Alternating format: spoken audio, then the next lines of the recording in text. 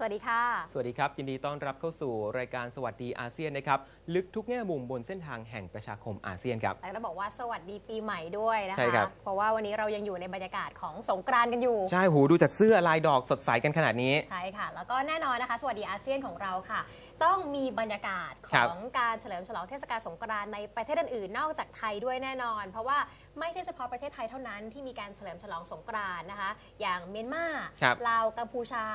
เขาก็มีเหมือนกันแต่ว่าอาจจะเฉลิมฉลองในชื่อเรียกที่แตกต่างกันออกไป หรือว่าช่วงเวลาในการจัดเทศกาลที่อาจจะต่างกันออกไปนะครับ ซึ่งค่ะทางรายการสวัสดีอาเซียนเองก็ได้ส่งผู้สื่อข่าวของเรานะครับคุณออนรวีแตงมีแสง ค่ะไปเกาะติดรายงานอืม บรรยากาศเทศกาลสงกรานต์ที่นครย่างกุ้งของเมียนมามาใช่ด้วยค่ะโอ้เมื่อวานนี้นะคะดิฉันเห็นเธอเนี่ยไปยืนเปิดหน้ากลางถนนเลยค่ะเรียรกถได้นี่ว่าต้องหลบเลย รถต้องหลบเพราะว่าค่ะ ถ้าคิดว่าถ้าชนกับคุณอรวี รถน่าจะเสียหายมากกว่า โอ้โหขนาดนั้นเลย ค่ะ แต่ว่าวันนี้นะคะจะพาไปดูบรรยากาศของเมื่อวานนี้เพราะว่าเมื่อวานนี้เนี่ยครับ ชาวเมียนมาเขาเริ่มที่จะเฉลิมฉลองสงกรารกันแล้ว ใช่ครับ แล้วก็ได้บริษัทจากประเทศไทยนะครับ อย่างบริษัท Index Creative Village นะครับ ไปจัด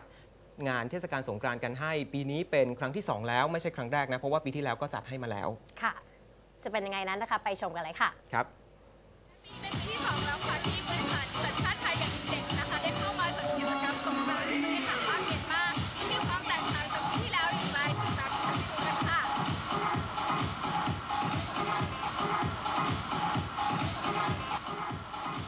Index ก็ได้เปิดเผยกับเราค่ะว่าการจัดงานสงกรานต์ที่เมียนมากับที่ไทยนั้น มีความแตกต่างกันพอสมควร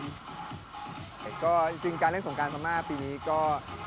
จริงๆจริงๆ ต้องบอกว่าการเล่นสงกรานต์พม่าในต่างกับของเมืองไทย โดยสิ้นเชิงเลยในเรื่องของการเล่นน้ำเพราะว่าวิธีการเล่นน้ำเขาเนี่ยคือเขาไม่ได้เล่นเหมือนคนไทยแบบปะแป้งเล่นกันตามท้องถนนทั่วไป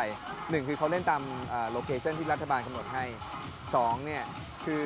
เขาจะขึ้นเขาจะสร้างเขาเรียกว่า pandal ภาษาเขาเนี่ยฮะจริงๆก็คืออัฒจันทร์เขาก็จะขึ้นไปเล่นบนอัฒจันทร์นะครับแล้วก็จะมีสายยางมาเต็มไปหมดเลยเดี๋ยวอาจจะมี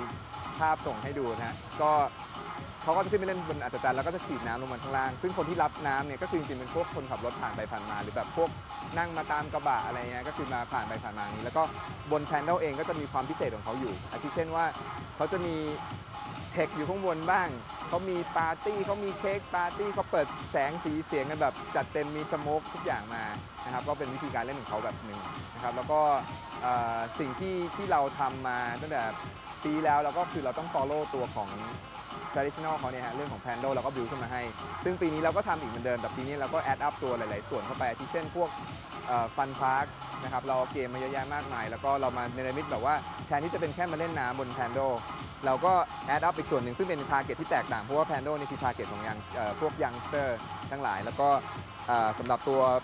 fun park ก็จะเป็น Family เป็นพวก kids อะไรพวกนี้ก็คือกลายเป็นว่าเป็นการเฉลิมฉลองเทศกาลสงกรานต์ที่แบบครบสูตรออกมาได้ทั้งครอบครัวเล่นได้ทั้งครอบครัว แล้วก็มาเล่นกันตรงนี้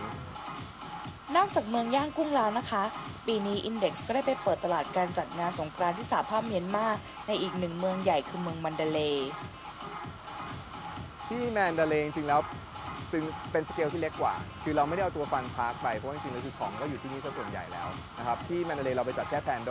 ก็คือเป็น pandal อยู่กลางอยู่ใจกลางเมืองเลย อยู่ตรงถนนที่ดีที่สุดเขาแล้วก็โชว์ brand visibility นู่นนี่นั่น แล้วก็มีพวกของปาร์ตี้ มีพวกของเธคอะไรอยู่บน pandal ก็จะลักษณะคล้ายๆกับเราที่นี่ แต่ที่นี่จะมี foam party ข้างบนด้วยนอกจากนี้นะคะ Index ยังเล่าให้เราฟังถึงประสบการณ์ในการจัดงานจากปีที่แล้ว และนำมาปรับใช้เพื่อให้งานของปีนี้ดีขึ้น โอเค บทเรียนปีที่แล้วจริงๆก็เยอะ ให้เล่าให้เป็นเกร็ดแล้วกัน ก็อาทิเช่นวันที่ 13 14 15 16จริงคือวันสงกรานต์ใช่ไหมฮะ วันที่แตกต่างกับเราคือของเมืองไทยเนี่ยค่อนข้าง stable คือคนก็ออกมาเล่นประมาณหนึ่งคือไม่ได้มีวัน peak วันวัน low มากขนาดนั้น แต่พม่านี่ชัดมาก 13 คือวัน low ที่สุด ซึ่งปีแล้วนี่เราถึงขั้นตกใจว่าตายแล้วเจ๊งแน่ๆ ปรากฏว่าเพราะว่าคนเขาไม่โหมาจริงเพราะเขาไปไหว้พระไปอะไรกัน แต่ว่าพอ 14 15 16 เนี่ย คือขึ้นแบบกราฟพุ่งอย่างนี้นะฮะ 15 16 นี่ peak มาก peak จนแบบแทนที่ต้อง concern เรื่องของความสะอาดนู่นนี่นั่นเราคอนเซิร์น security อย่างเดียวเลย เพราะว่าคนมันล้นเกินไป